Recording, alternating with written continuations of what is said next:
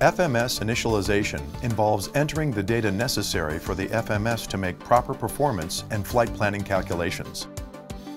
In the Pilatus PC-12NG, the FMS must be initialized before entering a flight plan.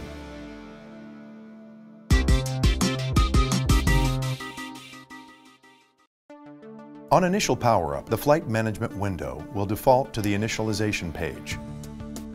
The Time and Date tab contains the current UTC time, date, and GPS position. The date and UTC time are synchronized with GPS and can only be changed in case of a GPS failure. The current GPS and FMS position is displayed in latitude-longitude format.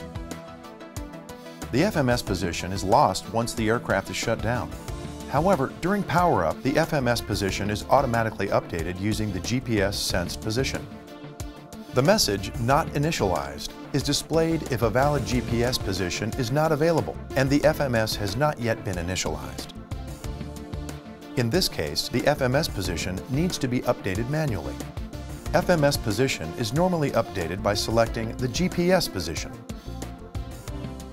If GPS position is not available, it can be manually set by entering the present latitude and longitude or using a reference waypoint. Enter the latitude and longitude without the decimal point between degrees and minutes. Also, delete any space between the latitude and longitude. To use the reference waypoint option, Enter an airport in ICAO format or a waypoint that exists in the navigation database. Regardless of how the FMS position is updated, select Apply once an entry has been made.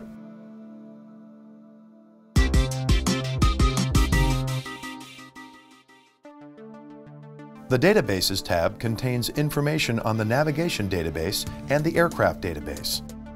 If electronic charts are installed, this tab also displays the chart subscription information. Navigation databases are produced and distributed every 28 days.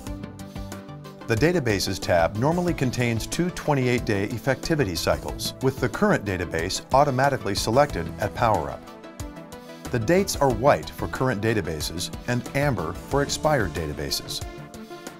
Select the other database to change the active database between the two cycles. This may only be accomplished on the ground and will delete the active flight plan. The navigation database part number and software number are also displayed. The aircraft database consists of aircraft-specific parameters that are used by the FMS for performance calculations. The aircraft database is not updated on a regular cycle.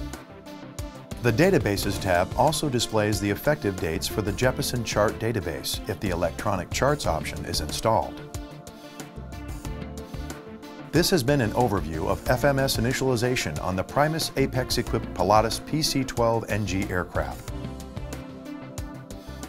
Please refer to the Aircraft Flight Manual for more information.